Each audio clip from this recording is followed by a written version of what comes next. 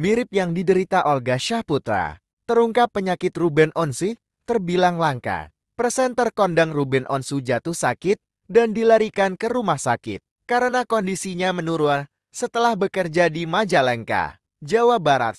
Ruben Onsu pun saat ini mendapatkan perawatan intensif di RSU Bunda Menteng, Jakarta Pusat.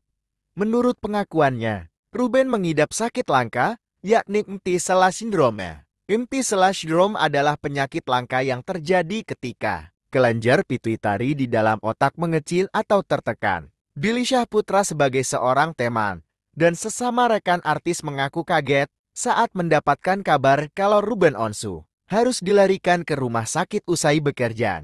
Ya taunya dari sosial media. Kaget ya dan sedih melihat Omar Ruben sakit dan harus dirawat. Kata Billy Syahputra ketika ditemui di kawasan Senayan, Jakarta Pusat. Billy Syahputra tidak mengetahui sakit yang diidap Ruben Onsu. Meskipun dirinya sudah mengenalnya sejak lama. Terlebih Ruben adalah sahabat mendiang kakaknya, Olga Syahputra. Billy mengaku dirinya terakhir bertemu dengan pria yang akrab disapa Bensu karena menjadi bintang tamu dari program yang dibawakan suami Sarwendah tersebut. Selebihnya enggak ada komunikasi. Waktu ketemu juga dia enggak cerita.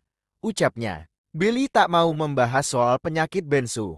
Hanya saja ia menganggap kakak dari Jordi Onsu itu jarang berolahraga. Sementara kesibukannya sangat padat. Ya mungkin balik lagi gua bukan sok tahu, cuma kalau gua kerja terus dan badan gak anak gua paksain kerja, bisa drop juga. Mohon maaf ya orang yang rajin olahraga, tapi kerja terus dan begadang. Teriak-teriak.